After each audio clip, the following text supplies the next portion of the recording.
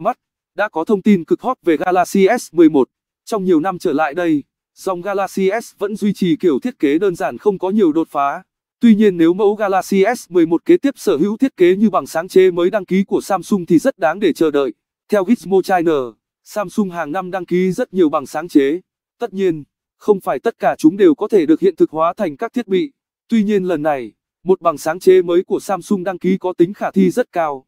Nó dường như là một giải pháp hiệu quả để người dùng smartphone có màn hình lớn hơn mà vẫn có thể đút gọn vào túi.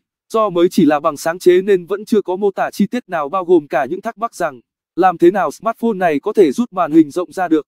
Hồi đầu tháng, Let's Go Digital đưa ra một thông tin về smartphone của Samsung có thể kéo ra và thu vào theo hai hướng, nhưng bằng sáng chế lần này cho thấy, phần màn hình sẽ chỉ được mở rộng về bên phải. Về mặt kỹ thuật, kiểu màn hình này dễ thực hiện hơn nhiều, một phần do phần màn hình mở rộng nhỏ hơn.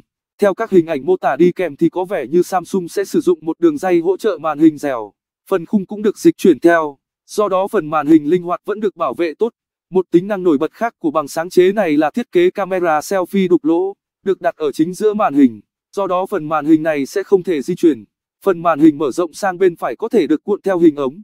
Camera sau được chuyển sang góc trên cùng bên phải để không ảnh hưởng tới phần màn hình mở rộng, nhưng bằng sáng chế không thể hiện cụm camera này gồm bao nhiêu ống kính. Nếu bằng sáng chế này được áp dụng cho Galaxy S11, thì chắc chắn smartphone mới của Samsung năm tới sẽ rất đáng được chờ đợi.